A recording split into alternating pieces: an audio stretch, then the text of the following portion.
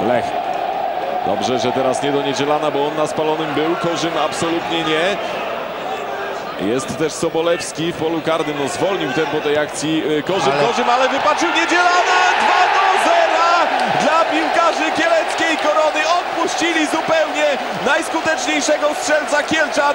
Obrońcy Lechi, no tak nie można grać. To jest kryminał we własnym polu karnym. Za to Andrzej Niedzielan potrafi to wykorzystać. A ja chciałem już skrytykować zawodników y, Korony, że dostatecznie szybko nie wbiegał nikt w pole karne i Maciek. Korzym, Maciek Korzym musiał Ale, ale, ale czy No nie właśnie. było spalonego? No to jeszcze raz zobaczymy. Zobaczmy raz jeszcze. Musimy to zobaczyć z nieco innej kamery, bo ja mam wątpliwości, powiem szczerze. Tu też tutaj nie zobaczymy. No. Byśmy mogli jeszcze raz zobaczyć e, tę sytuację. O właśnie, Tak. to jest spalony. To jest spalony.